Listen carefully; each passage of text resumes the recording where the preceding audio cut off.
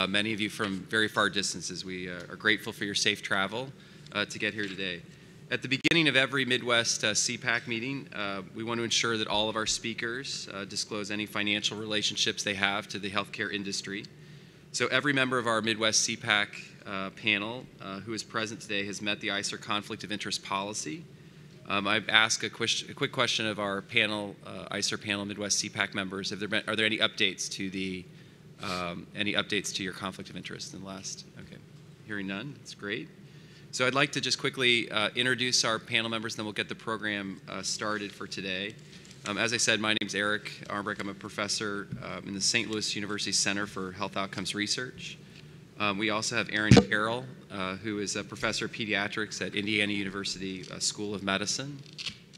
Uh, we have Reem Mustafa, uh, who is an associate professor of medicine at the University of Kansas Medical Center. Uh, Harold Pollack, uh, the Helen Ross Professor at the University of Chicago. Rachel Sachs, an Associate Professor of Law at uh, Washington University uh, in St. Louis. Shumei Yen, who's the former or previous state, chronic, state chronic disease epidemiologist for the Missouri Department of Health and Senior Services. She's also affiliated with the University of Missouri School of Medicine. Paul Heidenreich is the California kind of the equivalent to CEPAC, uh, the Midwest CEPAC in California, and a professor and vice chair for quality, uh, clinical affairs, and analytics at Stanford University. Um, from New England, uh, we have Rob uh, Aseltine, sorry, a professor and chair, Division of Behavioral Sciences uh, at the University of Connecticut. Um, we have uh, Claudio Gualtieri, Associate State Director of Advocacy for AARP in the Connecticut State Office. Brian Sullivan, uh, also from New England, a professor of pediatrics at the Geisel School of Medicine at Dartmouth College. And Edward Westrick, New England CEPAC member also, director of the Community Partnerships for New England, the American Diabetes Association. I believe Austin Frakt is also here. Sorry about that, Austin, I've skipped over you. Um, he's a health economist uh, from the Department of VA and also a member of the New England CEPAC. So we're thrilled uh, here in Kansas City to bring together um, some members of our um, New England CEPAC as well as the Midwest group uh, for this uh, exciting uh, discussion today um, on the, a fascinating topic. We have three guest or policy roundtable participants. We'd also like to introduce. So I'm going to go over here to uh, to Caitlin, to Christine, and Janet, if you could provide a brief introduction for yourself, that would be great this morning. Thank you. Yes, please. Uh, sure. Ooh. Yeah.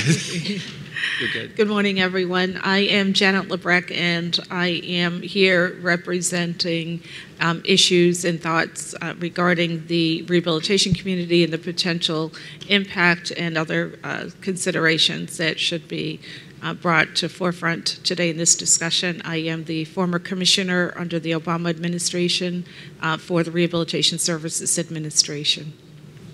Thank you and welcome. Thank you. Good morning, everyone. I'm Christine Kay. I'm a um, MD. I'm a vitreoretinal surgeon from Gainesville, Florida. Um, I started my clinical practice at University of Florida as an assistant professor with a Foundation Fighting Blindness Career Development Award. So I was doing AAV therapy and basic science research with gene therapy on a different disease on achromatopsia, but I have some knowledge in the basic science and AAV development and vector optimization. Um, and I developed a clinical trial practice uh, in inherited retinal diseases. So I'm a a you know, relatively large referring base to my site. I've now moved into private practice in Gainesville, Florida, but I have a large database of patients with inherited retinal dystrophies, of course, including LCA and retinitis pigmentosa and other diseases.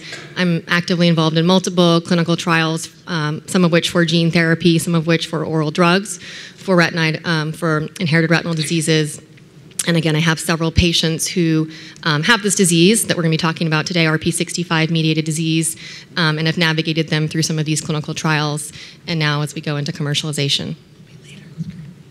And Caitlin, thank you. Hi, everyone. My name is Caitlin Corey. I am a patient with RPE65 who received the Voretigene Neparvovec gene therapy as part of the phase three clinical trial. That's great. Thank you, and thank you for coming. So I'm going to turn the, uh, the time and the agenda, I think, over to, uh, to Stephen, right. who uh, will get us started on, um, on the program for today. Thank you.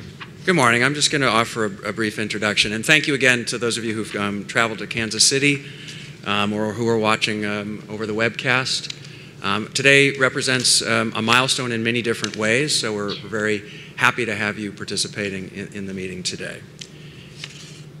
So we'd like to start off with a brief um, reflection on why we're here, why we're having this public meeting, what's the purpose, um, what's the, kind of the impetus for having these kinds of meetings. Um, in this case, um, it's quite clear that visual impairment and blindness can profoundly affect the lives of patients and their families and the broader community. Um, we, we thought this statement from Laura Manfrey that was given as part of the FDA Advisory Committee um, was, was helpful. I'm just going to just read it to you. It says, we hear from families whose children cannot make eye contact with their own parents and the devastating impact it, is, it has on the child and the entire family. We hear from kids who face social and academic challenges that range from bullying and exclusion to being perceived as less intelligent, when the only difference they struggle with is that they cannot see as well as their sighted peers. Even in the best of circumstances, they are growing up with a tremendous pressure that most of us never had to, that they will someday live in a world of complete darkness. The emotional, social, and educational toll of this vision loss at a young age is tremendous.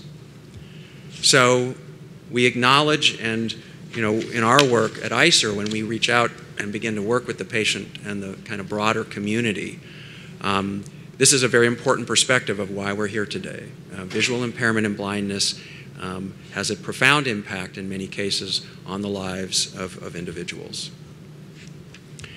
We're also here today because Voretigene, uh, this treatment, represents a true scientific milestone. It's the first treatment approved in the United States in which a new working copy of a gene is inserted into the cells of patients with a specific genetic disorder to treat that condition. So it represents indeed the kind of scientific milestone that people will be noting, I'm sure, for, for years to come. Now, as with other paradigm shifting um, innovations, um, the introduction of Voretigene will raise important questions about its appropriate use, about its pricing, and about the way that insurers, both public and private, um, bring it into, um, into coverage. We also know that for some treatments, especially those for very small patient populations, they can raise particular issues about the types of studies, the types of evidence that are reasonable, that are feasible um, to be done, and ultimately the relationship of pricing to the size of the population. so uh, for ICER and for the CEPAC, this is uh, one of the first um, uh, conditions and the first treatments that we will be looking at under the rubric of the treatment for an ultra rare disease. Now, gene therapies, which won't all be for ultra rare conditions, um, but in general, they will heighten because of their um, uh, prominent uh, kind of use as one time treatments in particular. They may heighten concerns about the affordability of emerging treatments, especially under existing paradigms of pricing and payment. And um, you know, ICER has worked with providers, uh, with uh, payers, and with manufacturers and other innovators um, to think about you know, gene therapy and the ultra rare disorder kind of uh, landscape. And uh, you know, one thing just to keep in mind is that approximately uh, 1% of the total population, um, if, which represents about 10% of those with a rare, an ultra rare condition, if 1% uh, of the population were treated um, at a, a, price of a million dollars, the, the cost overall to the health system would rise to three trillion. Now, that's not a figure that would ever come all at once, but it's, it's something that many policymakers do have in mind when they're starting to think about how we conceptualize value for treatments, how we think about their pricing and payment. Um, there are a lot of issues to keep in mind about the affordability for the healthcare system in the U.S. And it's not just the healthcare system, obviously. This affects individuals and families. Um, there's been a new effort to try to figure out how to quantify affordability um, for different uh, kind of stakeholders. This is one that was uh, published in the Journal of the American Medical Association. It's an affordability index for families, and it just traces the kind of percent of the health care premium for insurance as it relates to overall family income. And you can see that over the years, it peaked in a way around 2011, at least for now, but it's risen above 30%. That means that the average household, the cost for the insurance to cover them is a, over a third of their household income, or about a third. So this, this does prevent, obviously, stresses for individuals, for families, and for the broader healthcare system. So we're here today because we feel that it's really important to try to get questions right for patients today and patients of the future. We need to figure out how to bring treatments like this into the healthcare system in a way that will maintain sustainable access to care for everybody, both today and in the future. Uh, we feel that there's a benefit, therefore, to independent evaluation of the evidence on both clinical effectiveness and value, and to have that brought into the public domain, because we need to do that to engage the public, to explore things as objectively as we can, and to link it to ways of thinking of innovative pricing and payment uh, approaches, again, that can link in a way with the innovative science that we're getting um, to make sure that these treatments are brought in in a way that can benefit patients. So you've, you've been introduced to the members of the Midwest CEPAC. They are an independent appraisal committee, as you noted, uh, made up of clinicians with expertise in evidence based medicine, methodologists, and individuals who represent the broader patient and public perspective. We, the, the Institute for Clinical and Economic Review, convene these public hearings, and we do the background um, academic work, if you will, the scientific work, to develop a review of the evidence and to present it in this kind of setting. So I want to tell you a little bit more about ICER. In terms of our funding, you'll see an updated slide here for 2018 that the majority of our overall funding, and this is available on our website, comes from nonprofit foundations, and that's the funding that we use for our reports and for our public meetings. The leading foundations within that are the Laura and John Arnold Foundation, the California Healthcare Foundation, and the Blue Shield of California Foundation. We also do take about 19 20% of overall revenue for a separate policy summit program. Um, and you can see that those involve contributions from both manufacturers and um, payers in the health system, and we have a small set of government contracts. So, how was the report generated that serves as the kind of foundation for the discussion today? Briefly, we start with a scoping phase at the very beginning in which we reach out to the broader patient community um, and other stakeholders, clinical experts and others, and the manufacturers to get their guidance on how to conduct a review that will answer the key questions about effectiveness and value that will be most germane to different stakeholders. We then do an evidence analysis, a systematic review of the available evidence, and we do cost effectiveness modeling to try to uh, bring that perspective around value into the discussion. We go through several cycles of public comment and revision, and we also have official uh, clinical expert report reviewers, who for this report were Stephen Russell and Byron Lam. So within this broader scope, we then produce a report. And I just want to briefly present the conceptual background to the way the report is structured. It, begins really with the goal of how we want to think about evidence to achieve sustainable access to high value care for all patients. And we believe that decision makers, policymakers, uh, the health system in general needs to think about that goal by concentrating on two major components. One is long term value for money, of different care options, and the other is short term affordability. And you can see that long term value for money itself is a concept that has different important domains within it. It starts with thinking about the comparative clinical effectiveness of different care options. It includes incremental cost effectiveness, which is a long term perspective. Other benefits or disadvantages, which I know we'll spend a lot of time uh, concerned with today, these are things that might not be captured in the clinical data or even in the cost effectiveness modeling. And contextual considerations, which often include social and ethical values that decision makers may wish, may wish to think seriously about um, in many contexts. And then separately, we consider short term affordability by looking at an analysis of the potential budget impact and whether that potential might raise specific tension within the health system around short term affordability.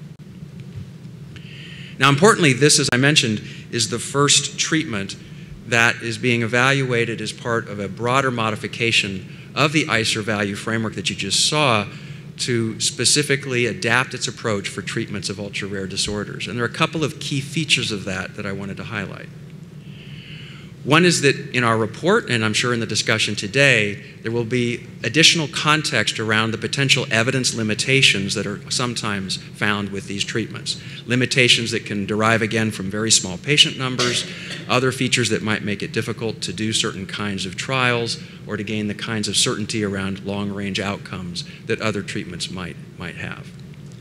The report includes a broader range of cost effectiveness results to kind of generate further thinking about the thresholds that might be used to think about value in these kinds of contexts. And we present our cost effectiveness results incorporating broader societal costs alongside the traditional analyses of health system costs as part of incremental cost effectiveness. Now, we do note also in all our reports that decision makers for treatment, when they're making decisions around funding, coverage, pricing, around treatments for ultra rare disorders, they often give special weight to additional benefits and con- broader contextual considerations when making those decisions. So there's a pattern of that that some people feel reflects societal values or other features of the health system, and we want to make sure that at least people understand that context um, in, the, uh, in reading our report and in the context of today's meeting. So, the way we'll run the agenda for today is that after this phase, then we will have about an hour in which we'll have a presentation of the evidence from Dr. Reiner Banken and from Dr. Marita Zimmermann.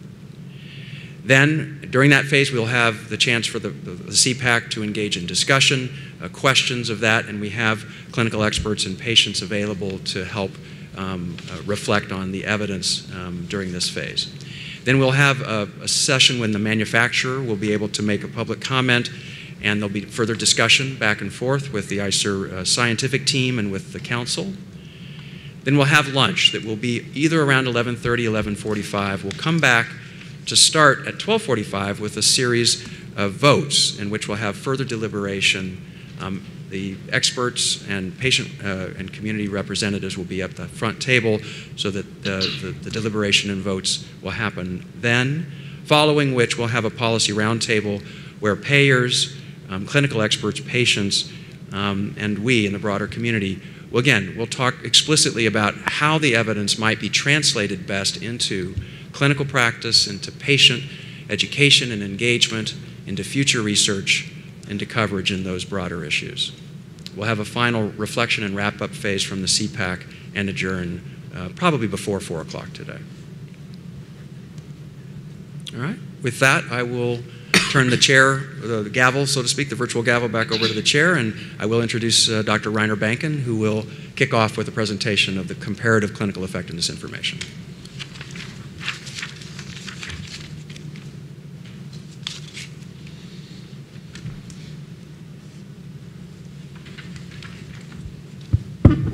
So I will be providing you with an evidence, an overview of the of the evidence. I'm based in Montreal, Canada, and I did some consulting work in the Canadian context with patient organizations, industry, and government. However, none of this work involved uh, eye diseases or any products of, of Spark. The key review members for this part is Jerry Kramer, Patricia Synnott, and David Rind. So we are talking about inherited retinal diseases, which are an important cause of childhood blindness, and overall they affect around one in every 2,300 people. It's a group of genetic diseases that's usually caused by recessive mutations. And over the last 20 years, an increasing number of causal genes have been identified. Overall, inherited retinal diseases are one of the most genetically diverse groups of inherited disorders. So now we are talking about the RPE65 gene. So this is one of the, I think, nearly 200 genes that have been identified as being associated with these inherited retinal disorders what the gene does, it produces a protein, an enzyme, that's needed for the regeneration of the proteins in the, in, in the retina. So in the eye, you've got the light coming in that's being uh, uh, translated into an electric impulse. And in order for this cycle to work, you need this, this enzyme, especially for the, for the rods I'm going to talk this about later. So you've got different diseases, different manifestations that are caused by mutations in this gene. And you need genetic testing to identify patients who have this, have mutations in this gene. All over, there is an estimation that between 1,000, maybe up to 3,000 persons in the United States do have this, this mutation. So this is an ultra rare disease, and as Steve mentioned, the framework for ultra rare diseases, the modifications were used in, in our report.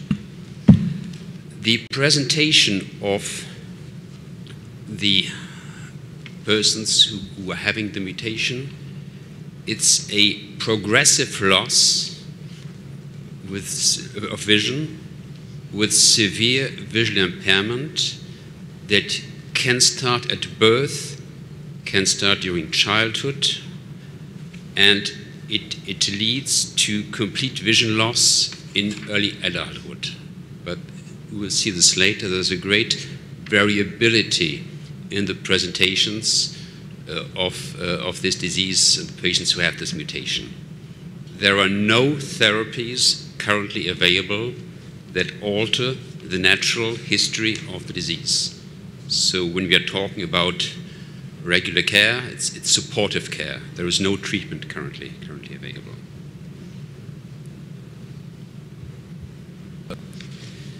This is a, a, a, figure from 70 individuals who had biallelic mutations in this gene.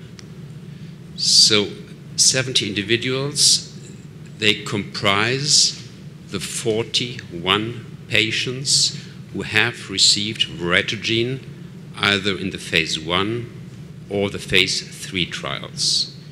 So what you're seeing is a, is a range of diseases when the gene is, is present on both copies of the, of the DNA. It can cause these diseases which have a more early onset with the LCA, you see 42%, or a more late onset. And it's, it's not only the mutation that's responsible for the presentation. It is some other factors we, we don't understand yet. So by, by age 18, 90% of the individuals have a definite diagnosis but it, it takes time to arrive at this diagnosis.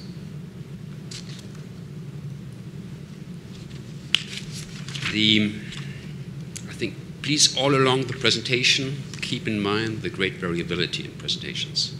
I think this is one of the essential features of these, these, these mutations.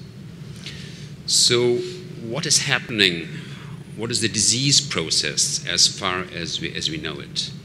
Dr. Kay is here late in the discussion to provide extra points I may not know about or may not cover.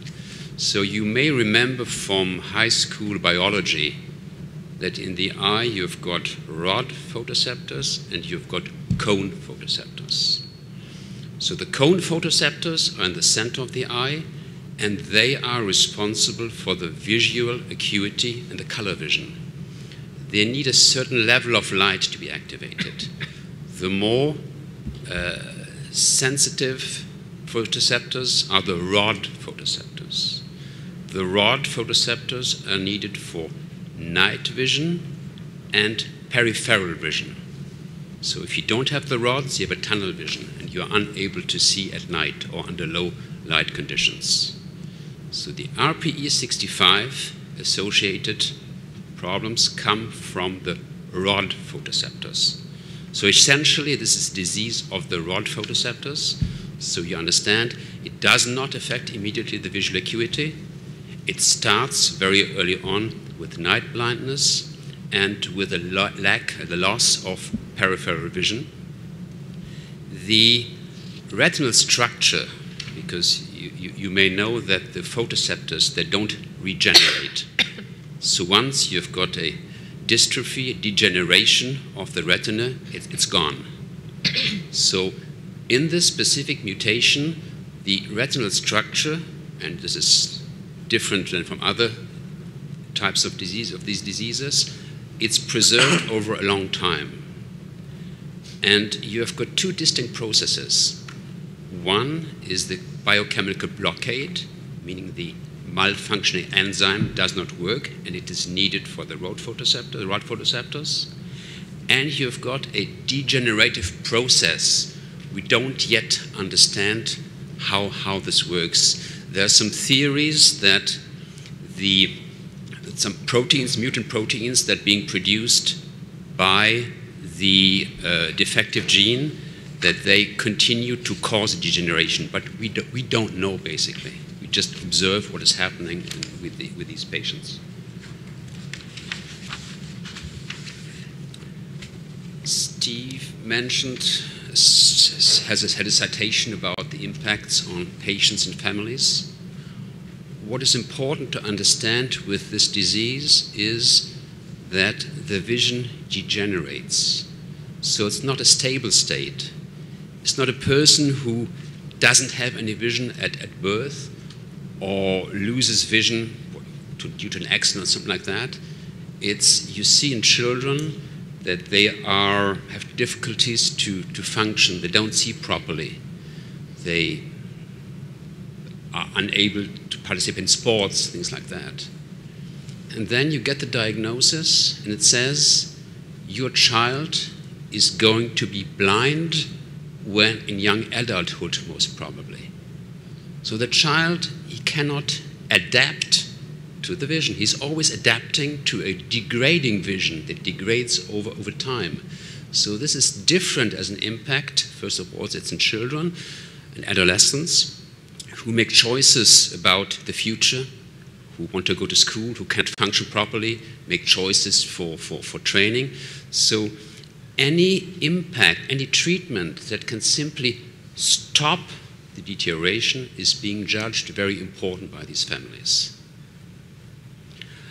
Um, and every number of years that you can postpone the deterioration in vision, it is also very important for these families because they may be complete education, maybe get some training, and to enter into the workforce.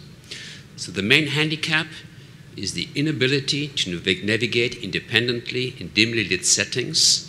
And this can show, for example, you're unable to go to a restaurant because there's not enough light. They may be unable to navigate a dark corridor in school, there's not enough light. So this is the main impact for, for, for, for, for these the persons. Um, Blindness has important, is an important socioeconomic disadvantage in, in education and employment. So only 15% of individuals with a visual disability earn a bachelor degrees. 28% find full-time employment, and about 30% of blind Americans live beyond the poverty line. This is the treatment for Voretigene Neparvovec.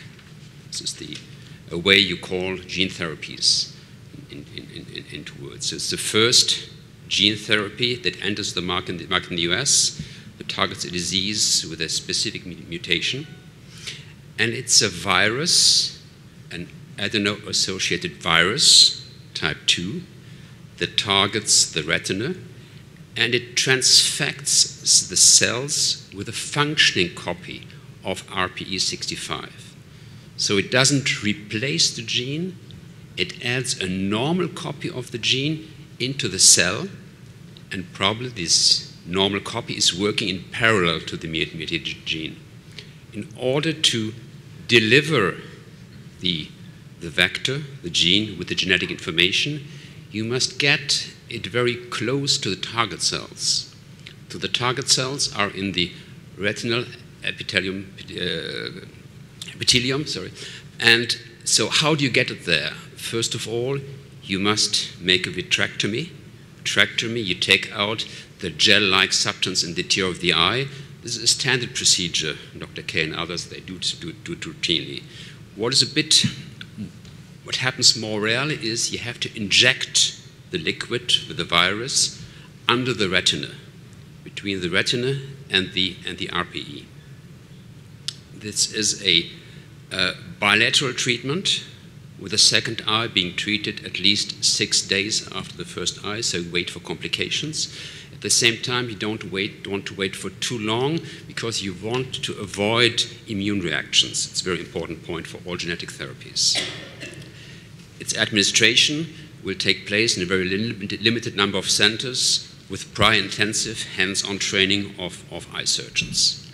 There have been other gene therapies that targeted the same gene they are not the same. It's very important to understand this. There are very many differences in the, in the vector itself, in the way that the gene is delivered. So we do have some experience with other gene therapies in trials, none is on the market, but this is not the same product. So what do we know about the effectiveness of this treatment? so we do have 41 patients in either phase 1, 1A, 1B, and, and 3 trials for 81 eyes because one eye couldn't be treated because of glaucoma. What is interesting, you've got 34 different mutations in this gene in the 41 patients, which really shows the great variability. So the phase 1 trial was 31 patients. It was a randomized, controlled, but open label trials. There was no, no sham surgery or, or, or, or something like that. The average age uh, was 15.1 year, with the ages ranging from 4 to 44 years. And currently, we have an up, uh, uh, follow-up available up to three years. Patients had been treated five years ago, seven years ago, and patients are saying, I had the treatment five years ago, I'm still, it's still working. Uh, doctors say, I treated the first patient seven years ago and it's still working, but the data being available, either as publications or presentations, are limited to three years. So this is a major point for the, the effectiveness and the durability of the, the effect we're going to talk about.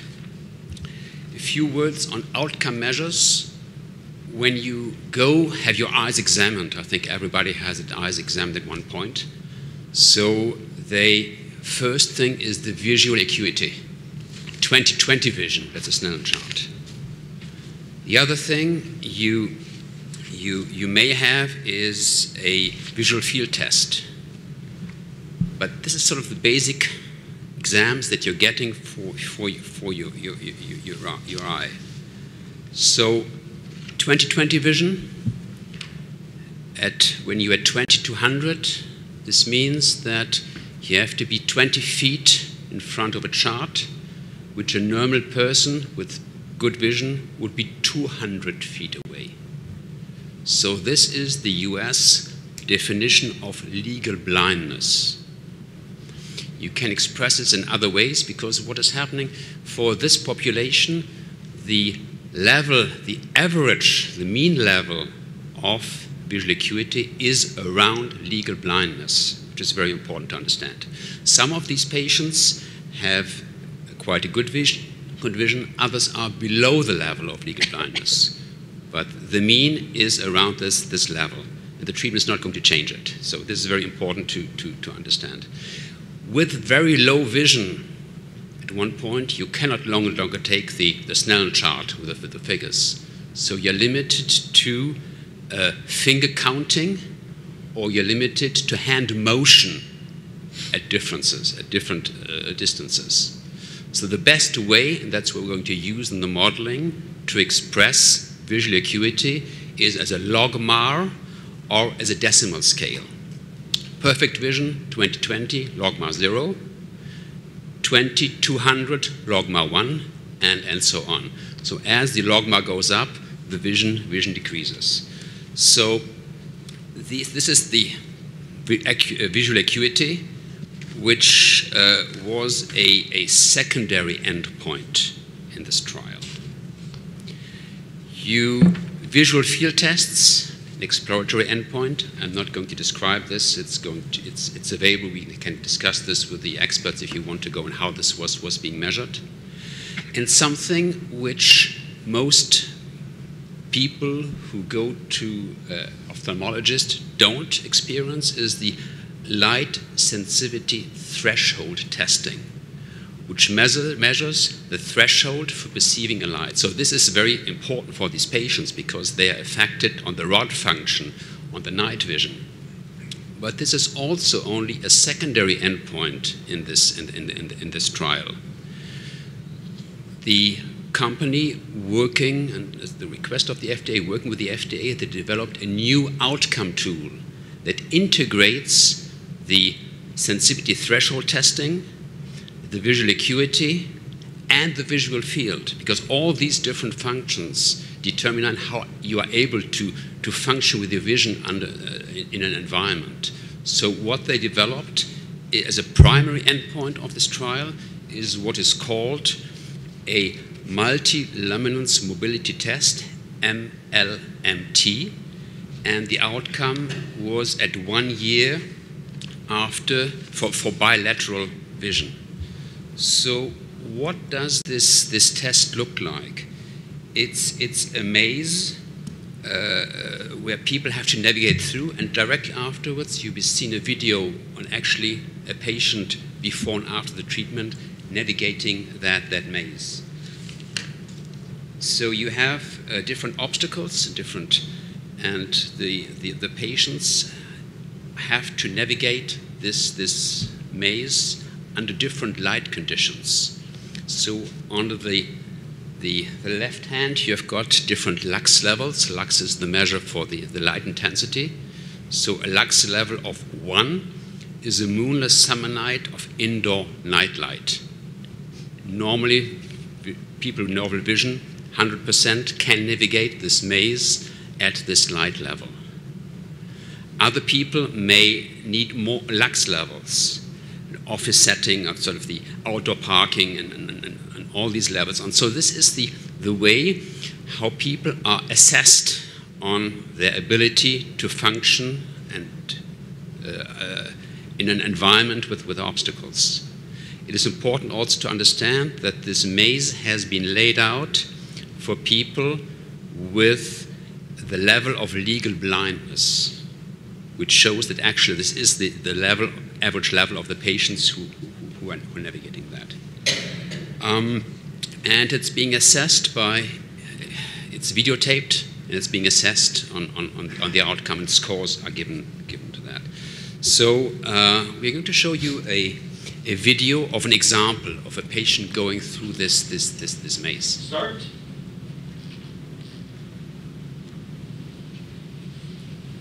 Okay, so you have got, um, as you can see in the video, the subject is navigating the course with her feet due to impaired vision and hitting many of the obstacles.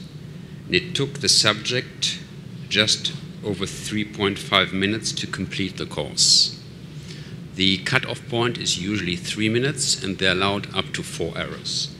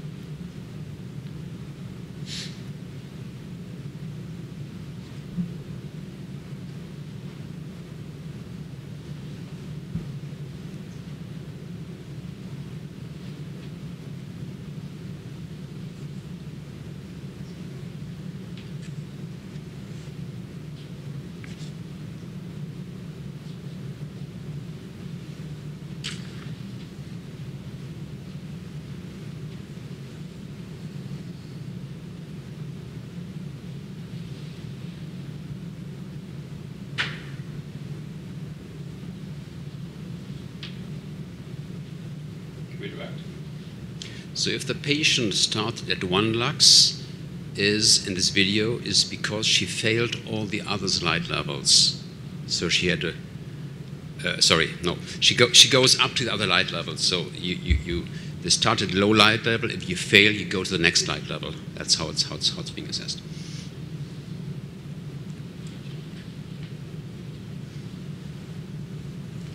Redirect. The next one will be quicker, so there's 3.5 minutes. You'll see on the next one after the treatment will be much more easier for her to navigate the, the maze.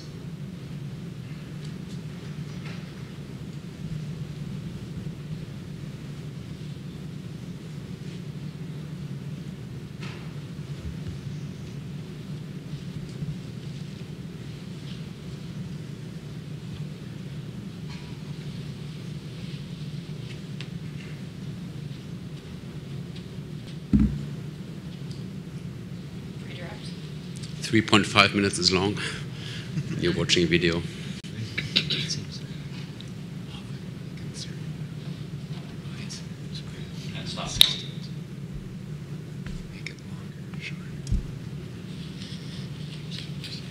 So this is one year Start. after the treatment at the same intensity of light. So the subject is, is the person is able to navigate the course much more quickly, under 20 seconds, and many obstacles were avoided while before she had to use her feet.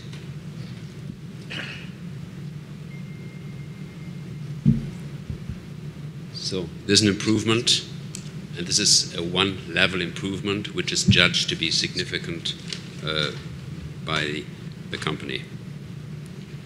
So this is the outcome for the randomized open label controlled trial. So what you have is it work? Okay. You've got the time.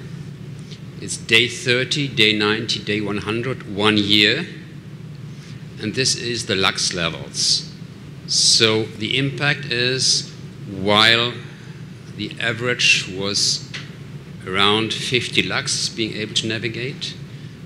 With the intervention, they were within less than 30 days, or maybe 30 days, they were able to function under four lux levels. And the effect with the other eye being treated uh, about a week afterwards.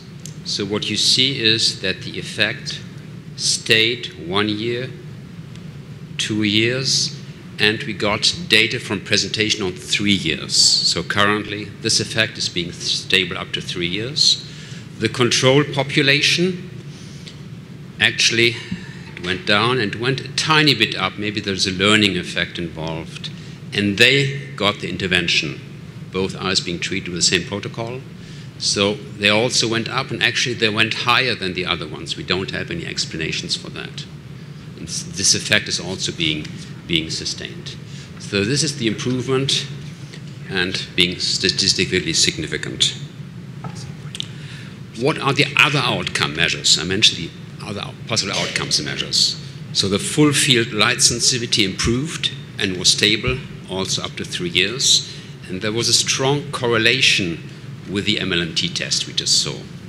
Because this test was being developed for the, the trial, but it's not something, as far as we know, that's been going to use into clinical practice. So you must use a test in clinical practice that is already available, and this is probably going to be the, the full field light sensitivity.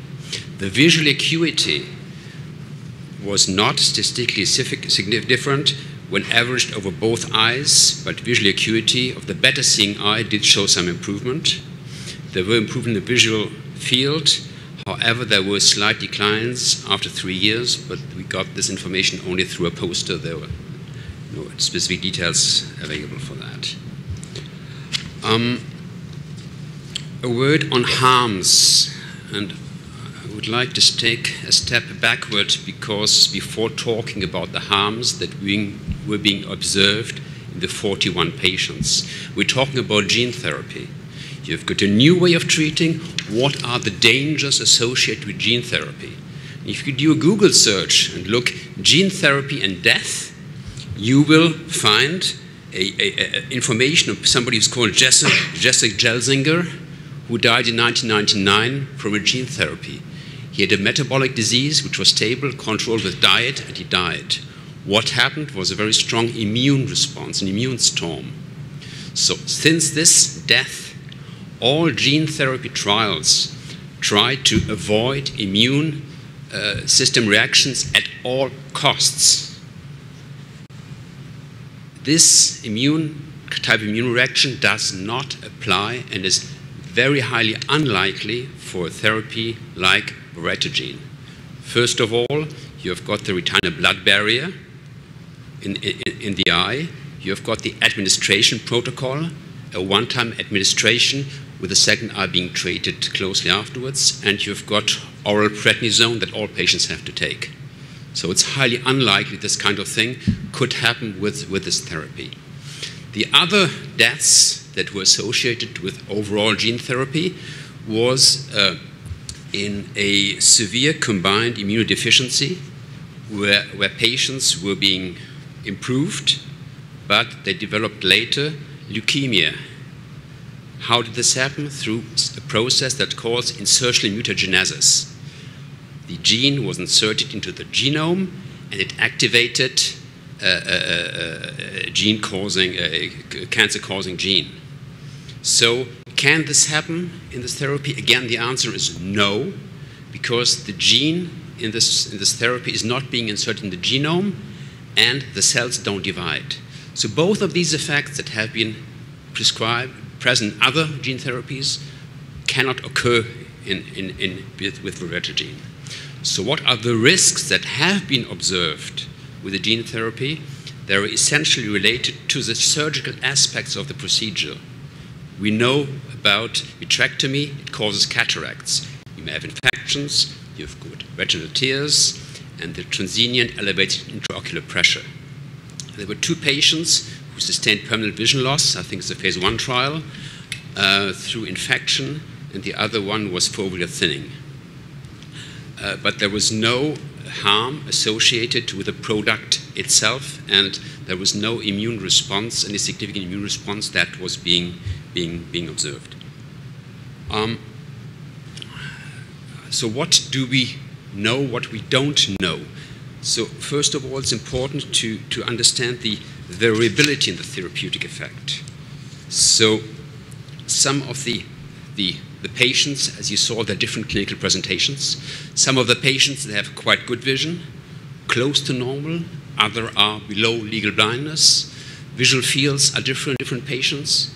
And this is a, a new endpoint that has been developed for the trial. It has not been validated as to real world impact on the quality of life. So you saw the maze. Yes, there is a, a difference, but what does this mean for daily quality of life? You've got, got patient testimonies on that, that that describe how important this is, but there is no measurement as of this on, on, on the quality of life.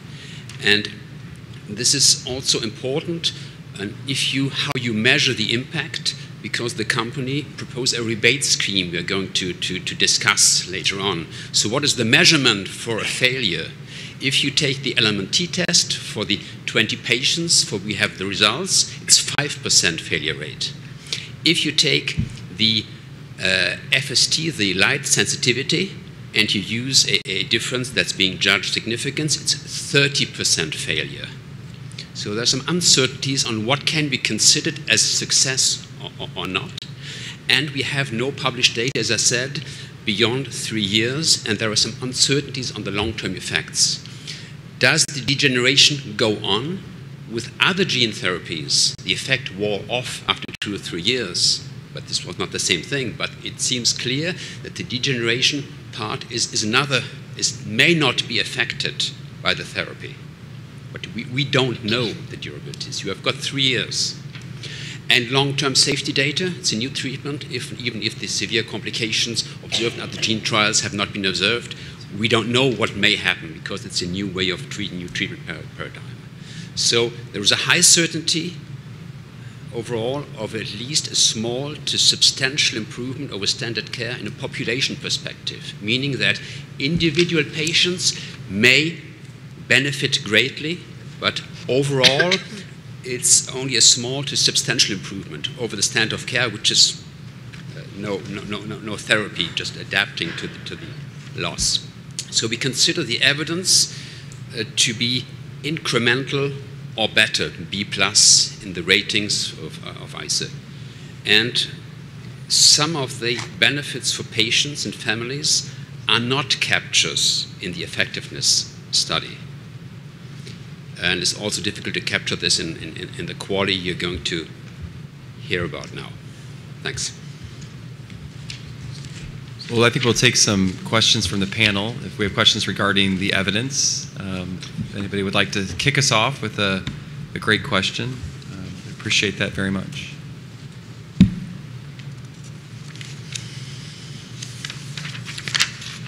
Thanks, Edward. I think I know the answer to the question, but I'm going to ask it anyway. It really has to do with uh, treat, treatment later in life. Um, I, I, think I understand that there's a degenerative component that isn't impacted by the treatment. Would we ever foresee retreating patients in the future beyond the, the 20 years impact that we expect? Or is this a once in a lifetime treatment? This question was asked at the FDA hearing. And the answer Spark provided was no, we don't envision to treat patients after a second time. First of all, you need to know also that's about one fifth of the surface of the retina that's been tried treated. It's not the complete retina, it's one fifth. And the answer is no to avoid, as far as I understand, any immune effects. I said, people are very much afraid that there may be some immune effects even with all the precautions. But maybe Dr. Kay, do you have any, any other insight into the retreatment? I, I think it's just important to point out that yes, that question was asked at the FDA hearing, and, and the company, you know, Spark, responded that that question has not been answered. Is it safe to treat 20 years later? But it, it and they certainly this is uh, this is a, the company is, is looking at this as a one-time treatment without any future retreatment. Of course, the bilateral treatment within one week. It is sort of interesting to look at. If you look at the phase one follow-on data, some of those patients were treated one year later. So it certainly theoretically can be safely done one year later, and you could expect that if you were to be looking for immune responses. Um, you know, one year later might be a good test of that because certainly that would allow for an immune response. And so patients, absolutely human patients, have been retreated one year later in the other eye. Um, it has not been done yet, as far as I'm aware, and correct me if I'm wrong, anyone in the room, that the same eye has been retreated in a human patient. Um, so that I mean that's the data that we have. I think that you know today we're just you know focusing on the data that we have, and you know what we're. This is a, a one-time treatment, bilateral within one week, and would not be expecting to be retreating those those patients in the future.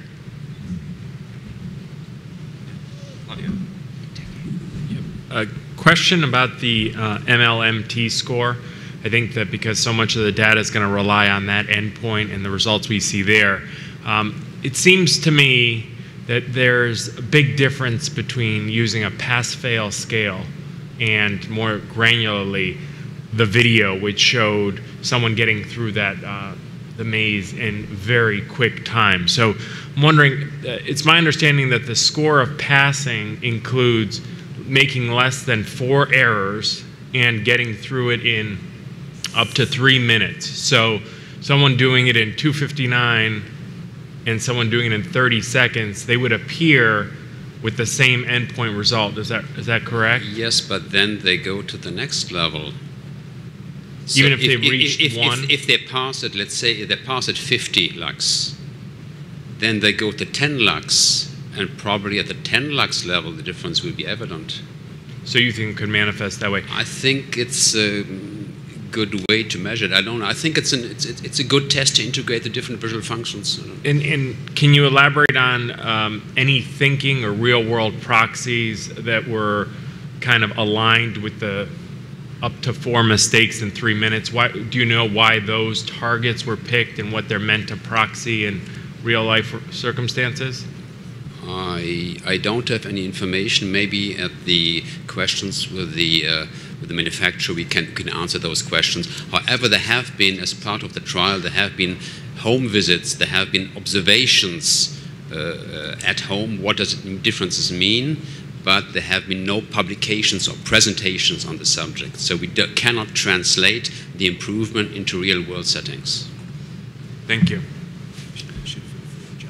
So I just wanted to also make an announcement that uh, we have uh, Steve Russell, uh, one of our clinical experts, uh, joining us by phone. So welcome, Steve. We may uh, feel free to, to let us know that you want to weigh in on any of these comments or, or questions. Uh, we may direct one to you in, in just a minute. I, I think the last question would have been very interesting for Dr. Russell because Dr. Russell is the principal author for the phase three trial.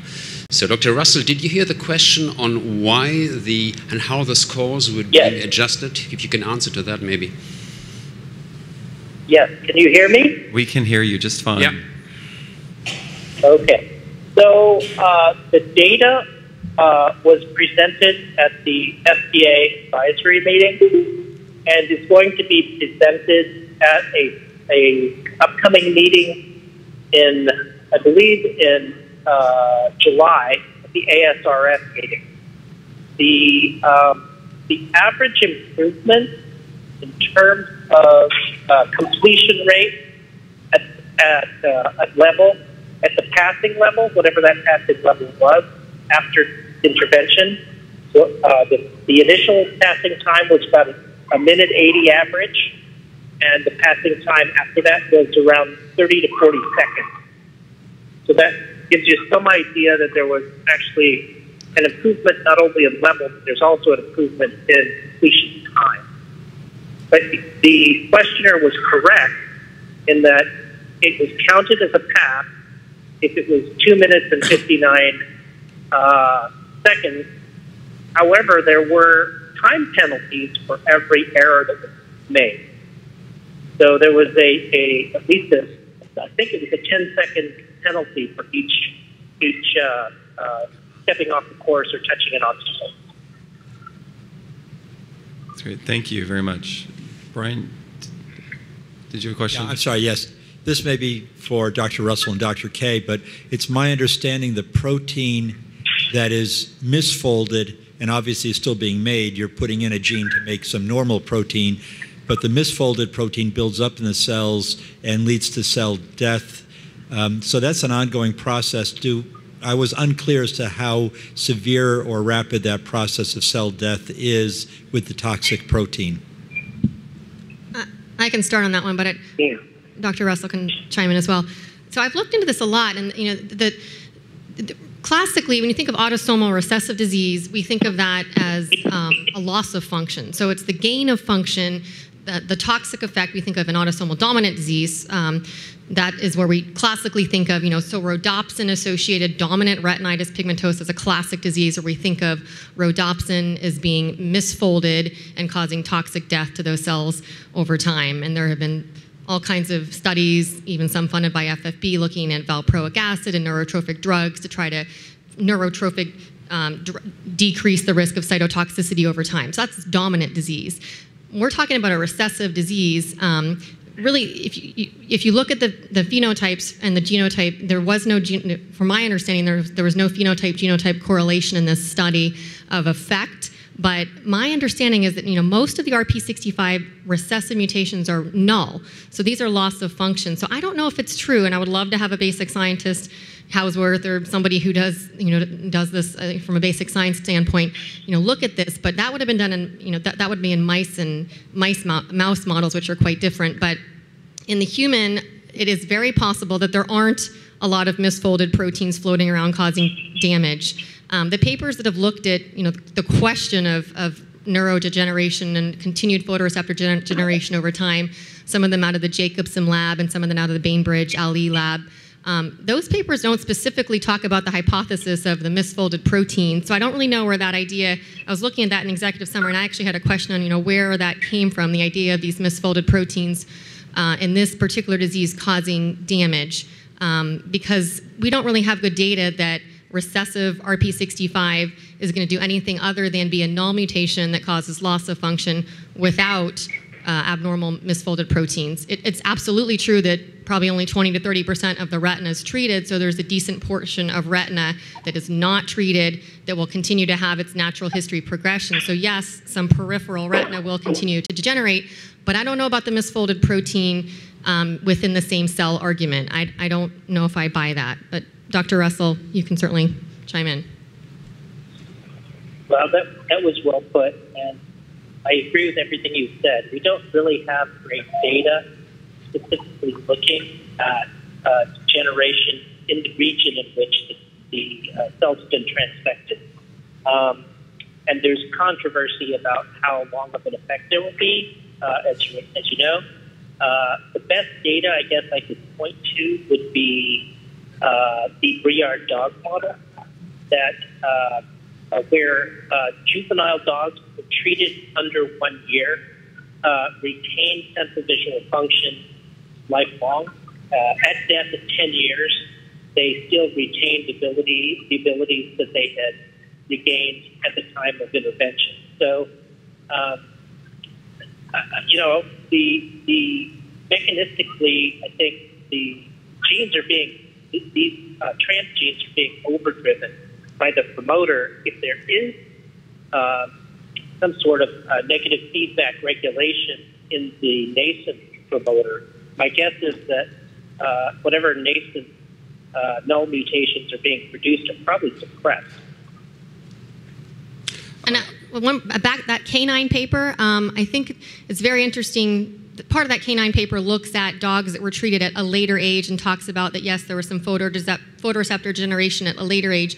But I think it's very important, and those are the older dogs. The, the, the flip side was true in that paper that Right. the younger dogs, prior to retinal generation onset, once they had the gene therapy, they had halt, they halted the photoreceptor generation and halted the natural history in those dogs if the treatment was done prior to photoreceptor generation. Um, the second point that I, the last point is there is an RPE65 dominant mutation that exists. There's a paper on it. I have the reference if anyone wants it. Um, it's it causes I think it's ASP uh, 477 GLY is the amino acid. It's a dominant. He's in an airport. It's an overhead announcement. What is that? Oh. He has an overhead announcement where Okay, so there's a dominant RPE65 uh, mutation that exists in humans, and um, it causes an extremely different phenotype. So these patients have a much different disease. This is a dominant form of RPE65 disease, exists in humans, and they have extensive choroidal atrophy. It looks totally different. So their photoreceptor generation is, is much more aggressive and different. And so those are the patients where there's the, probably the misfolding and that argument going on, and that is not the disease that we're talking about today.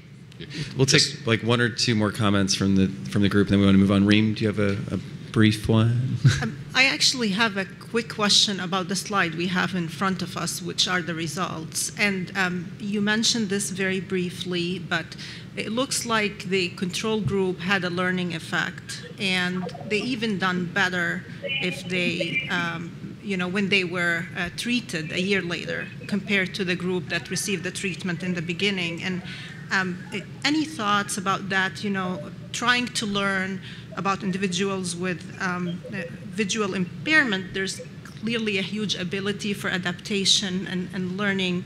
Um, so, how does that potentially affect the results? I know we have the three years, and but could, is it plausible to say that the learning effect could have been achieved over the years? Uh, Jerry, correct me if I'm, I'm mistaken, but as far as I mean, the, th- the three-year timeline is only the presentation, so we don't have the individual details and as much details as we do have for the for these outcomes you're, you're shown. Uh, the difference still is 1.6. So they went up 0.2. The initial difference is 1.8. So after that, it would be 1.6, which is still higher than what is considered as a significant impact, which is which is which is one. We don't have any explanation. Not only Dr. Russell have, but we don't, we don't know where this comes from. Thank you, thank you, Reem. Uh, Caitlin, I wanted to come go to you if you have any comments on, uh, you know, obviously there's a the outcome measures in this particular case are, are very important, and uh, people are making a lot of judgments about the durability of, of this uh, and and the benefit of it based on kind of a newly constructed outcome measure. Um, from your perspective, and you know, representing other patients, like what do you think of the the MLMT um, as a as a method? Is what does what are the benefits and weaknesses from your perspective? If you don't mind sharing, I'm sorry to put you on the spot. No, definitely. Um, you know, it, it is something that you have to get used to. It's not a normal test. But I do want to comment on the previous question about the three mistakes and um, the arbitrary value that what what makes a person after you make four mistakes fail. Well, I'm, I'm pretty sure I'm sure Spark has the information that there was previous testing between visually impaired that weren't just RPE 65 and those who are sighted. So they did um, the MLT to compare the two to see if it was a good measure, and therefore if a person like yourselves walk through the maze, it's a possibility that you might knock into a few things yourself. So by giving a person three mistakes to still allow you to pass, I mean, it's, it's a small chart. I can hardly fit my two feet in a square, Right. and I'm an adult compared to the kids that go through it. So there's always a chance for errors. Anyone who sees can trip. So definitely, I can understand having a few errors um, along the way. But I do feel as though, even as a patient, you know, the first year I was a control subject, and I did have that continuous measure to be able to see the lack of improvement. I mean, yes, I'm getting a little bit used to, okay, here's the maze again, but it, it is completely noticeable to me that I was, once I had the treatment, that there was improvement, that when they started at the lowest light level, that I could actually navigate when before I'm going off the path, I'm having to be redirected and someone put me back on the path. Um, and so it definitely, it does have real world um, applications. Walking through even this room before I had straighted would have been almost impossible at this time because of the lack of sunlight, the, the dimly lit, these would be dim to me. So to be able to navigate, to find a seat, to know where exits are would have been almost impossible until after the treatment. So to have a person walk through a maze like a room with a bunch of chairs is, I think, definitely applicable, especially in school life. Thank you. Thank you for sharing your comments. We'll go to Rob, and then we'll wrap it up and move into our next section. So, given what we saw in the two tests with the MLMT, could you describe what that change, which was fairly dramatic, what kind of impact on uh, quality of life would, would that then imply to see the, the ability to navigate a, a space like that? Caitlin or Janet? I mean, Janet, you please feel free to, to chime in. Sure. It may be a good question for you. Yeah, I'm happy to contribute my thoughts uh, to that. Uh, in that, uh, individuals who oftentimes are are experiencing vision loss, regardless of what the condition is, obviously quality of life has a significant impact. Uh, depending on, on a number of factors. The primary factor uh, for individuals and, and the impact on quality of life of when you're losing your vision is do you have the compensatory skills you know that are in place to help you navigate your way through this process? It's not a consistent process and when individuals lose their vision obviously the exacerbation of that loss of vision occurs over a period of time like in rpe 65 um, so the quality of life, first of all, is immediately impacted. Uh, individuals' lives are often uh, come to a, a complete halt. Uh, as a former vocational rehabilitation counselor for over 20 years, we often see individuals who will not go out into the into their communities. They will not socialize. They they uh, significantly uh, limit, you know, the type of contact that they may have, as, as was previously mentioned with regard to going into restaurants. Um, the educational process is significantly impacted by individuals who experience these types of conditions uh, because they are consistently thinking about things like, well, I have to get home before uh, 4 p.m. I also have retinitis pigmentosa and can remember distinctly being very cognizant about time because you feel as though you're living under this umbrella, you know, that you have to get in before dark. It, I, we used to call it the vampire effect, you know, that vampires have to be in by dark, and it, you kind of felt like that because you you know that you're constantly thinking about uh, your limitations that are going to be significantly impacted after um, you go through this particular particular time phase, you know, during the day. So, and also thinking about employment uh, thinking about the role reversals that often happen as a result of the vision loss in the family. Individuals will oftentimes change roles.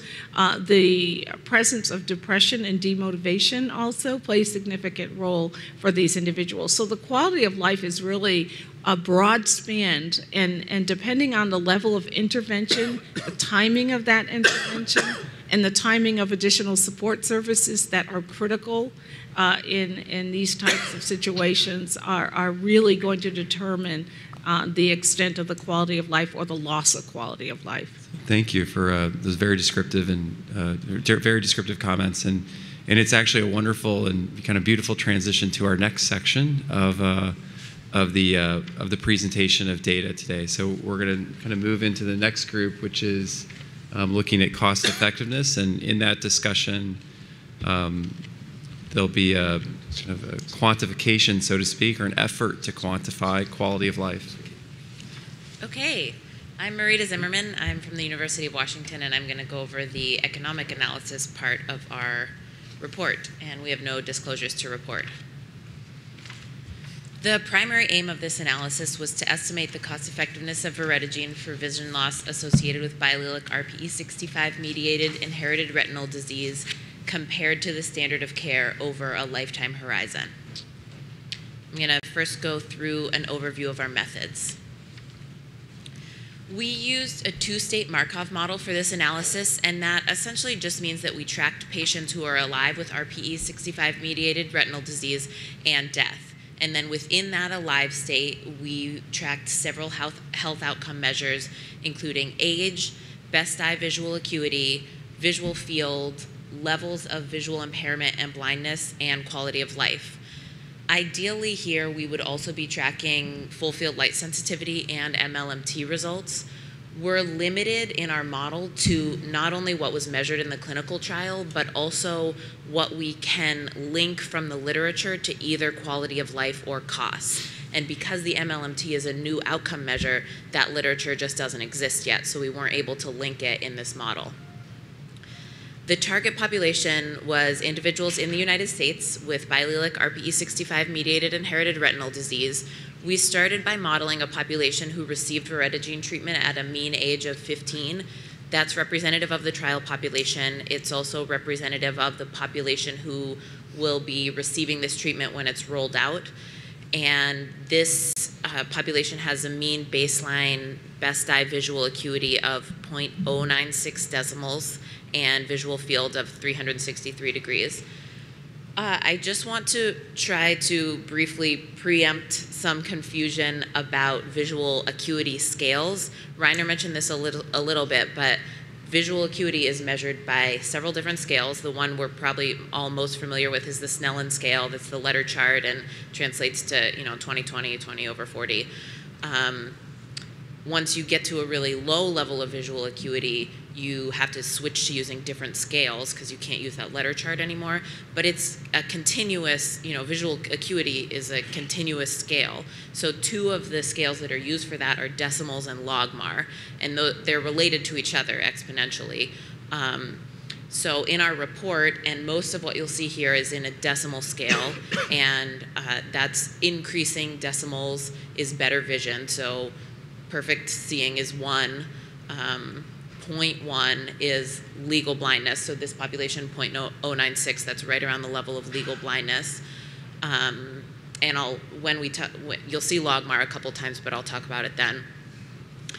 Uh, we also modeled a younger population, and the goal for this was there's some hope that over time we'll be able to diagnose this sooner before patients have had as much progression of visual disability. Um, and in that case, they'd have a higher baseline visual ability. So you can see their baseline best eye visual acuity and visual field are higher. So really, we're just using age as a proxy for baseline visual ability. Um, I will also mention that all these values are mean values. We wouldn't expect everyone in this population to have this value. There'll be a range around it, but these are the means.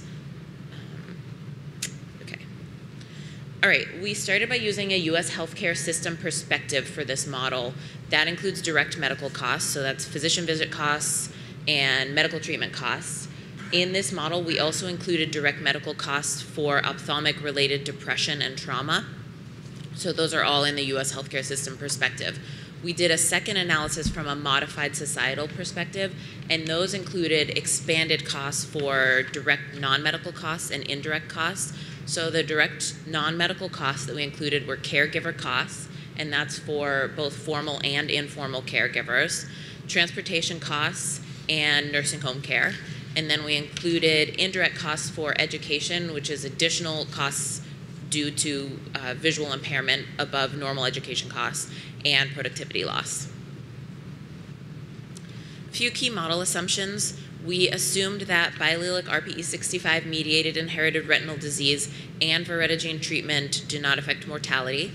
We assumed that the treatment effect is maintained for 10 years, followed by a 10 year waning of effect, after which the rate of decline in vision is the same as with standard of care. We made this assumption, um, as Reiner mentioned, we have three years of data. We have up to seven years of anecdotal reports saying we think this treatment effect is maintained. Mm-hmm. So we a little optimistically assumed that that would be up to 10 years and that it wouldn't just suddenly the rate wouldn't suddenly drop at the end of the 10 years. So we it slowly declines over the next 10 years. And then finally, we assume that impacted individuals are considered visually impaired when visual acuity is less than 0.63 decimals or visual field under 1200 degrees and considered blind when visual acuity is under 0.015 decimals or visual field under 48 degrees.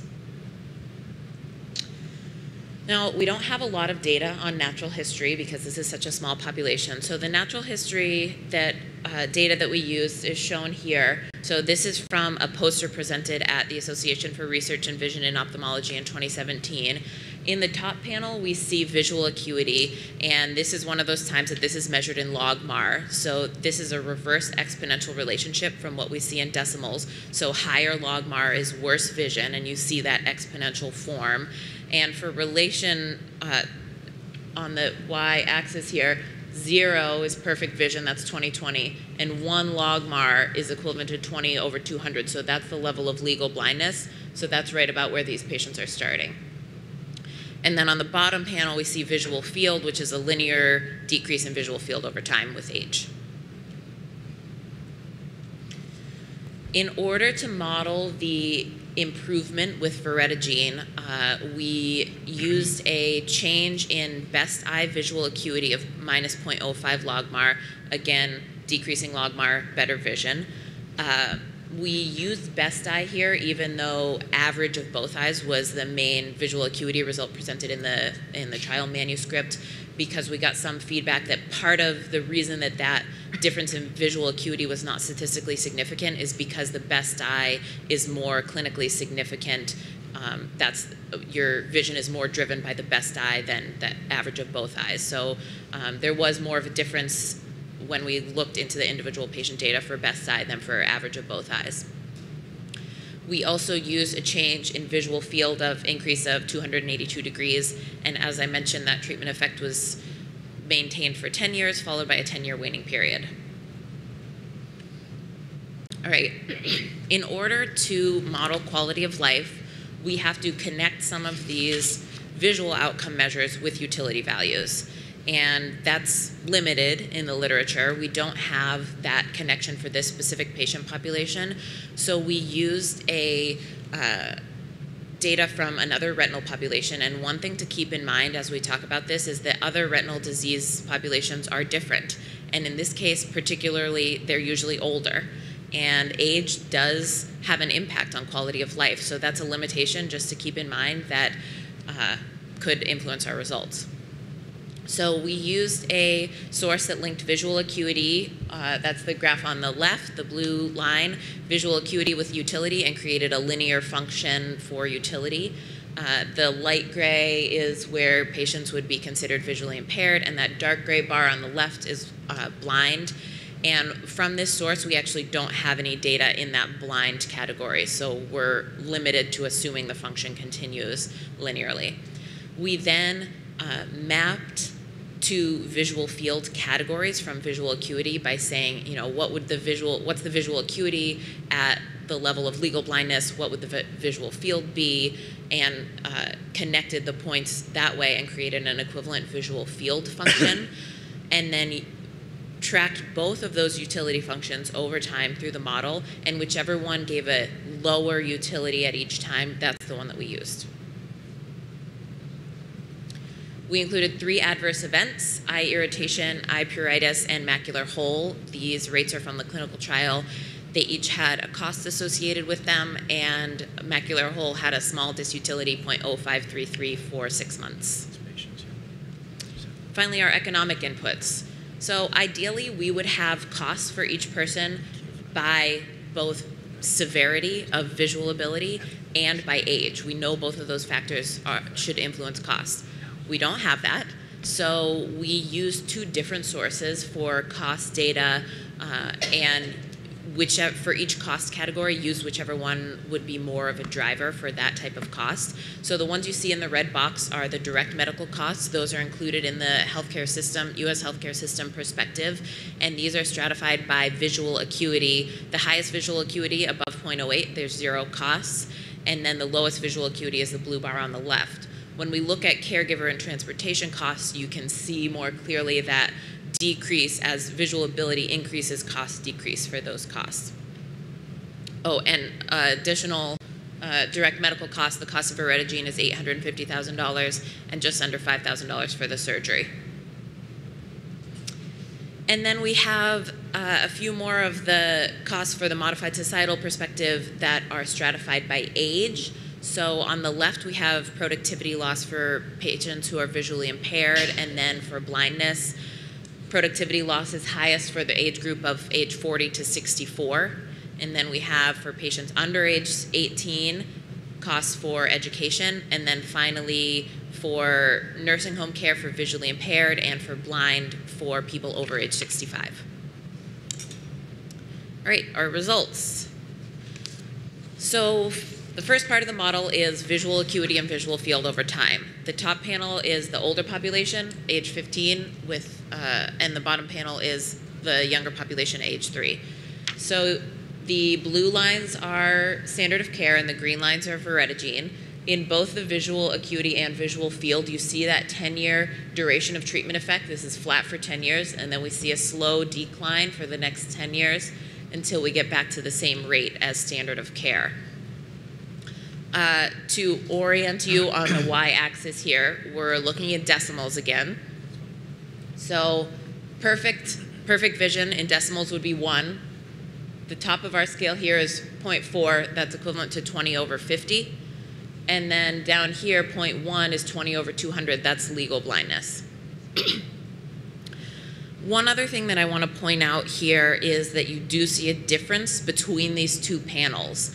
And part of that is an artifact of that translation from logmar to decimals. Because it's an exponential conversion, that means that the starting point, the baseline, matters. So because the younger patients are starting at a higher visual baseline visual acuity, we see that manifests as a bigger jump here between standard of care and voretigene. It also means that because this solid blue line is an exponential curve, when the the bottom panel is starting at a higher point, you're at a steeper point in that curve. So standard of care visual acuity is decreasing more quickly over those first few years of treatment, while voretigene is held constant over those 10 years. And that creates a bigger gap, a bigger improvement over these first few years in visual acuity. So you see that bigger uh, jump over time for the younger population. Again, that's because we're using age as a proxy for baseline visual abil- ability. When we apply our utility functions to this, we see a similar shape. You see that flat line for the first 10 years for voretigene treated people. And then we again see that little bit bigger gap due to the visual ability in the patients who started with a higher baseline visual ability. When we look at our costs as well, we see just over $850,000 for voretigene costs, direct medical costs. And then uh, when we're looking at the, this group is what's included in the US healthcare system perspective. When we look at the modified societal perspective, we see some more significant cost offsets, particularly caregiver costs and productivity costs. You see that those are lower for voretigene patients compared to standard of care. When we look at the graph on the right, we see an increase in quality adjusted life years. It's 1.3 additional QALYs gained over remaining lifetime for people who receive voretigene. And when we combine those, we get an ICER of $644,000 per QALY from the US healthcare system perspective and 480,000 per QALY from the modified societal perspective. When we look at the younger population with better baseline visual ability, we see more exaggerated cost offsets. So we see cost offsets here for direct medical costs and more exaggerated for some of these other costs, caregiver costs, productivity, transportation costs. We also see a bigger jump in quality adjusted life years of over two QALYs. and when we combine those, we get an ICER of $288,000 per quality from the US healthcare system perspective and 135,000 per QALY from the modified societal perspective. We did a sen sensitivity analysis varying each model parameter to see what the drivers of this model were. This is for the older population. Top panel is US healthcare system perspective, and the bottom panel is modified societal. Um, slightly different order, but in both cases, the drivers are the function for utilities, the baseline visual acuity, and the cost of voretigene. And results were similar when we did this for the younger population as well. we also did a uh, probabilistic sensitivity analysis where we varied all model parameters to look at what the probability is that voretigene would be cost effective compared to standard of care at various willingness to pay thresholds. And to point out, here's $150,000 per QALY, which is a commonly used threshold. For orphan conditions, we might look at higher. Here's 250,000. Um, these are the young, these ones that in increase more quickly are the younger population, and these increasing more slowly are the older population. And then you also see that we the modified societal perspective shifts those probabilities to the left. We also did a scenario analysis where we looked at a lifetime duration of treatment effect, so no longer considering that 10-year effect if voretigene uh, stays constant over the remaining lifetime. We see bigger cost offsets, so other costs uh, are lower for voretigene patients. We also see a bigger jump in quality adjusted life years, and that leads to an incremental cost effectiveness ratio of $385,000 per QALY from the, from the U.S. healthcare system perspective and $228,000 per QALY from the modified societal perspective. If we do that same analysis on the younger population, we get down to an ICER of $161,000 per QALY from the U.S. healthcare system perspective and 16,000 from the modified societal perspective. I also wanted to highlight a few of the comments that we received throughout this process. We did make several changes to our methods as we were going along due to some of the feedback that we received. We got comments that the utility values and methods that we were using for our utility calculation were not appropriate for this population. We did change the source for utility values that we were using. We also performed a scenario analysis using a different source with nonlinear utility values, and we removed some underlying population utility values that we had in the uh, draft report uh, so as to avoid double counting of disutilities. We also got a comment that costs were not high or inclusive enough for this population. So we switched cost sources. We used additional cost sources that incorporated both severity and age. And then finally, we got a comment that the treatment effect duration was longer than what we modeled. We had originally talked about using five years after seeing that three year data. So we expanded that to 10 years. We added a waning period and we did the lifetime uh, scenario analysis. As with any model, we have limitations. The natural history of RPE65 mediated inherited retinal disease has not been thoroughly studied. We also have, are limited in measures of effectiveness for voretigene to those measures that were captured in the clinical trials as outcomes and what could be linked to quality of life, so visual acuity and visual field. Costs and quality of life measures have not, to our knowledge, been published for this specific patient population, so that's a limitation as well. In summary, we found that voretigene improves patient health outcomes compared to standard of care. However, the high cost makes this unlikely to be a cost-effective intervention in the types of patients studied at commonly used cost-effectiveness thresholds. If in the future it becomes possible to select patients earlier with preserved vision, similar to what we modeled in the younger population, and you use a societal perspective rather than the usual healthcare system perspective, in that case, voretigene may then be cost effective at typical, typical cost effectiveness thresholds. Thank you very much. We, we all appreciate. Do we have any questions from the panel on clarification? And then we're going to hop right into the uh, manufacturer comments and discussion with uh, with uh, Eric, Thomas Ciulla. Yes. Just one question. So, uh, Rita, thank you. As I spill on myself. Could you just go back to slide 49 for a second and clarify, so- or at least Which discuss one's something? 49? to us? Uh, Two more back. There we go. Oop. No, the one with the, yeah, that. Okay. So if we look at the cost per QALY um, at the different age groups, they're quite high, as you noted. But if you look at the cost per additional blindness, blindness-free year from both perspectives, the numbers are actually quite a bit more favorable. Can you talk about how those we should interpret those differences? Because there's there's quite a bit to be said for those relatively low costs for Mhm. additional blindness-free years Yeah. under some of these modeling scenarios. Yeah. Uh, I think it is important to look at other outcomes besides just quality adjusted life years. We know that looking at only QALYs is a limitation when you're looking at this, you know, very broad type of outcomes. Uh, it's hard to put other measures into a specific context. One of the advantages of using QALYs is we have this in the back of our head what's what's a reasonable ICER. We have this reference of 150,000 per QALY. We've seen costs per QALY in other disease areas. We don't have that kind of reference for what is it worth to avoid one blindness-free year.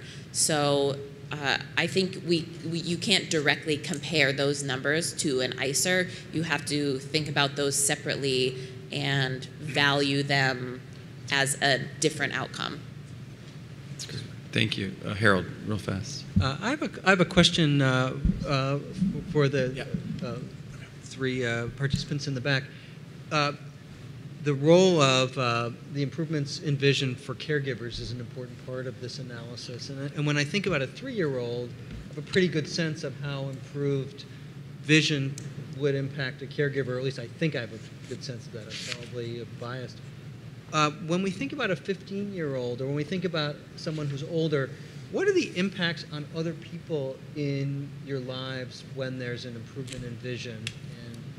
How should that? How should we be thinking about that as we think about weighing, uh, you know, in this component of the analysis? I wonder, Caitlin, maybe you could speak to that. Well, um, definitely, I, I can only speak to my own experience and the experience slightly of my parents and my relatives that have, you know, been caregivers for me. Um, it takes a lot of effort and time to, you know, from a young age to get you through school. The amount of effort to get a person who's visually impaired, let alone losing their vision, educated, it takes a ton of effort and time that not everyone has, and they have to sacrifice a lot from time at work, from just anything that you'd have to put in extra.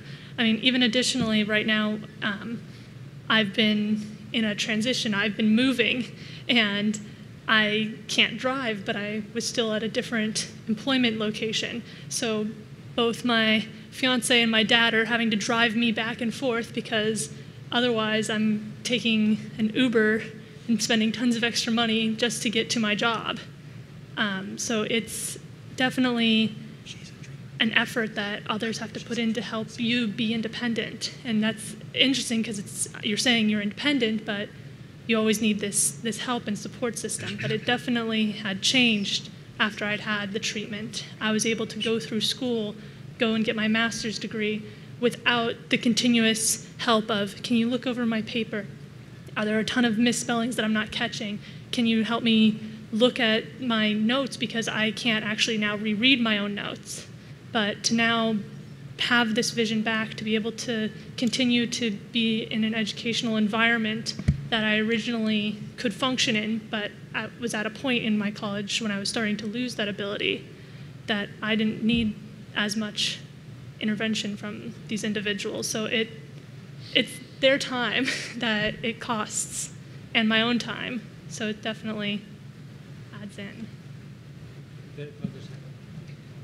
I'd like to just add to that as well because I think that also um, what Caitlin pointed out regarding the stressors, you know, in, in the family situation also uh, are really critical because many individuals uh, who are impacted by vision loss, and particularly if they're uh, in a family situation where one parent is, is assuming the, the dominant role in terms of responsibility, it creates incredible stressors on the family. Uh, there are are uh, many, many uh, instances where families will break up, you know, in terms of the stress that's caused as a result of having to deal with all the normal roles that parents assume in a, in a family, particularly when there are multiple children involved as well. So oftentimes there are uh, those values that we don't often think about, but also the perception both of the individual impacted as well as the family members uh, changes as well. When there are opportunities for uh, in, increased vision or treatment or therapy of any type uh, for the family members, it really does instill a sense of hope and creates a different value that we don't often think about on a regular basis. You know, the individual impacted, their self perception, their self esteem, their self confidence, their ability to really think about themselves in a very different role and in a different way so that it does not only in increase their independence, but it does change the, the whole family perception uh, of the impact of a condition if there is a therapy or treatment process as well. And then when you think about the role of how we all think about going to work every day, you know, it starts in childhood. So you actually want to start when those kids are two and three years old as early as possible uh, because it does change their own perception. You don't see it on a daily basis, but in the family reaction and how they choose to raise that child, the, the, the words that they use, you know, the type of treatment that that child receives, um, the stigmas that may be associated, those all play an incredible compounding impact on how that individual will eventually, by the time they're 14, 15 years old, see themselves and how they're able to contribute, socialize, work, you know, be educated. And so, anytime that there's this type of intervention or strategy that can be put in place, uh, an opportunity, it, it has a, a critical uh, impact on, on not only the current situation but the future.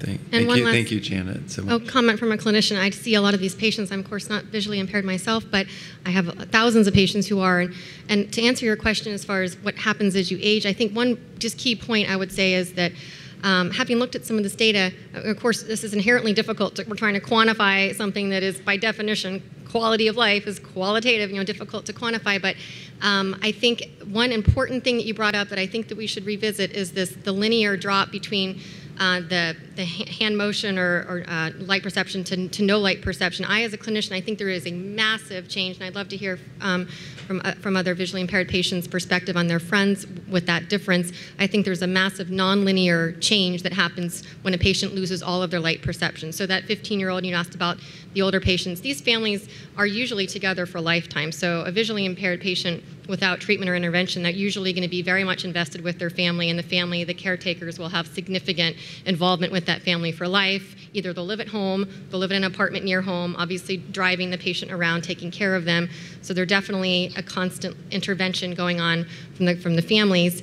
But if that patient does lose all light perception and they're no light perception, and I have patients who sadly get to that point in my clinic, um, there is a massive change there. And I really do think the nonlinear model there would be the most correct for these patients. Um, patients are extremely depressed. They come into me, they're, they're totally different people. When those patients, and I see them go through that progression, when they lose light perception to no light perception, the entire dynamic of their life drastically changes. I can't put a number on it. I don't know how those things are derived, but I would absolutely expect it to be a nonlinear function when you when you lose when you go to those low vision levels, and then a huge increase in the burden to their families. Helping an individual get through a room when they can navigate and have some light and, and sort of see shapes or motions, that's much different than helping someone who's completely seeing blackness, and that's what no light perception is. So I think a drastic, I think the nonlinear model there would be the correct one. Claudio, do you have any? Yeah, I wanted to just add on this to point. bring us home. Uh, because section. Harold, I, I think that this this index around caregiving is one of the more fascinating ones that probably, especially here, we need to dig deeper into, because uh, uh, it seems like most of the data on a caregiver perspective is from the perspective of the individual uh, needing help and support from family caregivers. I wonder if there's not the whole other half of caregiving, and because it's such an intergenerational function that we all end up eventually becoming caregivers for others. And if there's a lost opportunity for the treated individual to uh, provide care to dependent children or older parents so that they may be able to avoid early institutionalization or help as they uh, become older. So, uh, taking away the ability of someone, if they're not treated with this, to provide care to their loved ones, the other half of the caregiving, them as a caregiver, not relying on caregivers, I think may be underestimated in some of the context here. Yeah, that's a good point. Uh, of course, we don't have data on that. We don't know exactly how we would quantify that. But we do include productivity loss over a person's lifetime. So theoretically, their time and uh, income that would be part of caregiving is inclu- would be included in productivity. That's part of their productivity as an adult that, that we would be measuring. So it's at least partly included. John, do you want to one last take? Uh, yeah, so uh, just a comment on the blind. I wouldn't overinterpret the blindness-free year stuff because you also got to remember that that's the the bottom part of that scale. So people, there's a visual impairment that's above that. So we're not saying that they've gone from perfect sight to blindness. They're spending a lot of time in the visual impairment as they're getting down to that. So so the, the, the, main results you should focus on are the cost per QALY. We added the, the blindness for year to give a, a somewhat of a clinical you know fix to, to a number, but you got to remember that there's there's a lot of time that they're spending in that visual impairment state. The mean state is is legal blindness when they're entering that. So it's not from perfect sight to blindness. So you just got to sort of keep that in mind when you're trying to interpret that metric. It's very good. I'll, I'll So- also respond just briefly to the nonlinear utility. We did do a scenario for that, so you can see the results of that in the report.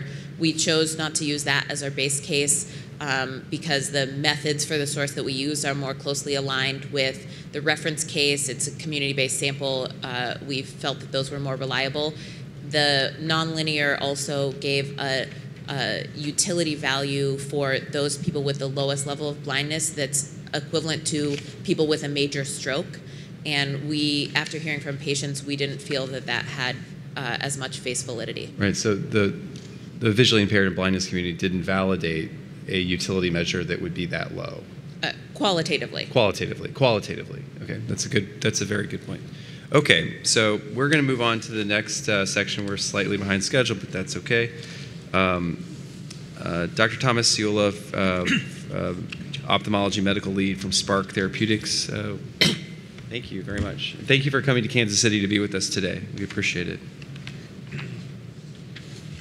Well, first of all, thank you very much for uh, having me speak today. As you mentioned, my name is Dr. Thomas Ciulla, and I'm the ophthalmology medical strategy lead for Spark Therapeutics. I'm a board certified ophthalmologist and retina specialist. I co directed the Retina Service and Ocular Angiogenesis Research Laboratory at Indiana University School of Medicine. and I remain a volunteer clinical professor of ophthalmology. I trained in the Harvard system, served numerous roles in over 100 national clinical trials, and have co authored over 130 Medline Index peer reviewed papers. I also hold an MBA and have become interested in linking my expertise in retinal disease and research with the development of novel therapies such as Luxturna that serve unmet needs. So, in the next four and a half minutes, I'm going to stress three points. Number one, prior to the availability of Luxturna, nearly all patients with RPE mutation associated retinal dystrophy would have progressed to complete blindness as there were no treatment options. Spark wants to ensure that all eligible patients have access to this novel treatment. Therefore, Spark has priced Luxturna responsibly and has created outcomes based payer rebate arrangements that recognize its longer term efficacy and also has explored alternative payment options that would allow for installment payments. Number two, Spark also has an interest in ensuring ICER's report in Luxturna does not limit patients' access to the therapy because of a premature base case economic model that makes headlines. As Spark has stated throughout the ICER process, the model was created too early. There are limited data available to incorporate into a model, and I think that's just been reflected. Restrictions on data have been necessary Spark was undergoing FDA review until December 19, 2017, and is still collecting utility data. Nevertheless, Spark has worked with ICER throughout the process to improve the model and provide suggestions for the most appropriate data to include. Number three, and most importantly, Luxturna addresses a dire unmet need in a very small patient population which is impacted by ultra rare genetic disease. This warrants appropriate inputs to determine cost effectiveness and an appropriate cost effectiveness threshold. When ICER includes some or all of these inputs as sensitivity analysis to the base case model, ICER's own report demonstrates that Luxturna is often cost effective for many patients. However, these analyses are obscured by the premature base case model that makes headlines. Let me briefly address some of these inputs and cost effectiveness thresholds individually. First, ICER's base case continues to underestimate the treatment effect from Luxturna and uses health utilities that are inappropriate for this population, as we just briefly touched on. Specifically, when ICER employs health utilities that reflect the rapid decline in health as patients progress to blindness, Luxturna appears to be cost effective under the modified societal perspective using standard cost effectiveness thresholds. This is shown in ICER report table 4.9. Second, even when ICER fails to use this more appropriate utility function but does incorporate both a lifetime treatment effect and indirect costs into its model, as we just touched upon, and as Spark recommends, Luxturna is indeed cost effective at the current list price at all cost effectiveness thresholds for a three year old patient, and at a cost effectiveness threshold of $250,000 per QALY for a 15 year old patient. This is shown in ICER's own report, Table 4.8. Third and finally, ICER recognizes that other benefits and contextual considerations must be accounted for when reviewing an ultra orphan drug. It therefore reports benchmark prices for higher cost effectiveness thresholds. These are more appropriate for an ultra orphan drug like Luxturna versus more traditional drugs with larger patient populations and multiple treatment options. Therefore, Spark requests that ICER more clearly explain that when indirect costs are taken into account, as we just touched upon, even in the base case scenario, Luxturna is indeed cost effective for a three year old patient at the standard $150,000 per QALY threshold, and for a 15 year old patient at a $500,000 per QALY threshold. So, in summary, number one, Spark is addressing any potential concerns about cost directly with payers through its novel payer programs, including its outcome based rebate arrangements that stand behind the durability of Luxturna, and potential alternative payment options that would allow for installment payments. Number two, it is disappointing that the ICER press release emphasizes only the premature base case economic model. And finally, number three, ICER's very own report demonstrates that Luxturna is indeed cost effective for many patients when it uses appropriate health utilities, uses indirect costs that address the high societal impact of blindness, as we heard today, considers a lifetime treatment effect, especially in the absence of data suggesting otherwise, and or uses higher cost per QALY thresholds for innovative therapies addressing ultra rare disorders, such as this one that leads to total blindness. Unfortunately, payers who do not review, who do not review the report carefully could easily miss these points and inappropriately and unfortunately limit access to sight saving therapy for those in need. Thank you very much. Thank you very much for your comments. So, yeah, so we, we thought if you're available, um, we would love to uh, ask some questions and I think build off of the, the comments that you just provided. And I think the. Could I, the- could I back up just one about Yeah, the sure. MLMT? So there were some comments about the MLMT. Um, so first of all, I want to emphasize that um, you know it's a novel endpoint. Um, people ask, what does it mean? Well, it turns out that it is very much grounded in reality. Um, if you look at ICER report, I think it was on page 19. Those light levels correspond to real, real world living conditions. So in other words, uh, you'll notice that the, uh, the average patient improved from 50 lux to 4 lux. So they could function at 50 lux at an outdoor train station um, and at 4 lux at an outdoor parking lot at night. So it, it actually is grounded in reality. It was an endpoint that Spark developed in conjunction with the FDA. The FDA was very, very interested in um, a, a functional vision versus visual function. So I would um, uh, state that the MLMT is indeed uh, grounded in reality. It is a real world test. That's what it was designed for. That's what the FDA wanted a functional vision test. I think that I appreciate that that remark and that clarification. I think we heard, you know, kind of commentary and testimony from our uh, from Caitlin and Janet that, that affirmed that that particular position too. Another, another comment I'd like to clarify. Um, so there, there, there is a lot of confusion um, uh, in this um, uh, investigational um, agent uh, arena with RPE65. There's, there's been two other uh, uh, studies using different vectors. And um, using those different um, therapies, um, uh, they didn't achieve the durability Right. effect that we've achieved. Unfortunately, the results that Spark um, ha- has and for which it got approval, uh, those results are being lumped in with these other therapies. And I just want to emphasize that the therapies are totally different. You could actually have the exact same gene being augmented with the exact same vector, but they're very different therapies still. And um, they're different because, for example, uh, the Spark product removes empty capsids. Without going into all the technical detail, by removing uh, vectors that don't contain the gene, you actually uh, enhance the efficacy because you can saturate the receptors with empty capsids, and that decreases the therapeutic efficacy. We also add surfactant to the um, a product. Surfactant minimizes the, the vector from sticking to contact surfaces as it's drawn up and it goes through tubings and, and, and is injected onto the retina. Um, we have a different promoter than some of these other therapies. So to, to, to lump this therapy in with the others is not uh, scientifically accurate. And uh, our data so far um, uh, shows that there is durability.